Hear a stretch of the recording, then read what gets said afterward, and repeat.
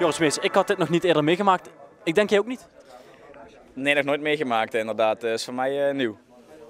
Wanneer dacht jij van, oei, dit kan wel eens vervelend gaan worden in de tweede helft? Nou, er kwam een uh, moment dat hij eigenlijk uh, onze aansprak over het feit dat hij niet meer heel veel kon zien. Vooral voor de, voor de grensrechter aan de zijkant. En toen gaf hij aan van wat wij wilden. En wij wilden graag door omdat we gewoon denk ik prima in de wedstrijd zaten. Maar hij gaf aan van als het zich nog minder werd dat hij wel moest gaan besluiten om het niet door te laten gaan.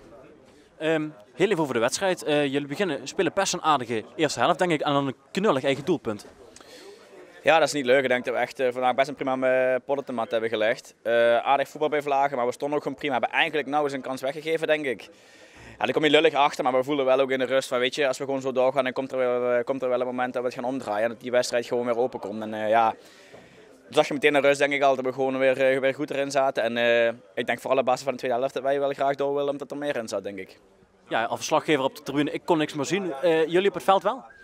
Ja, je kon nog wel wat zien. Ik moet wel zeggen, ballen die echt vanuit de hoogte geschoten werden, een paar keer, die zag je heel laat aankomen. Maar in principe kon je wel gewoon vanuit de middenlijn gewoon naar het doel kijken. Volgens mij staat de regel van de KNVB dat je vanuit de middenlijn het doel moet kunnen zien. Dat konden wij wel. Maar je zag het vanwege de meeste wel heel laat aankomen. Dus met andere woorden, heb je begrip voor uiteindelijk het staken? Ja, we vonden het leuk zoals ik al zei, maar ik snap het wel. Alleen uh, ik denk ook voor de fans en ook voor onszelf... Uh, was maar een prima dag om, om een bekerstuntje eruit te gooien. Dat zat er wel in, denk ik. Maar uh, ja, goed. Dit, dit is het en hier moeten we het mee doen. En hopelijk dat we de volgende keer gewoon op deze voet door kunnen gaan. En dan zaterdag wellicht met vertrouwen naar Sparta?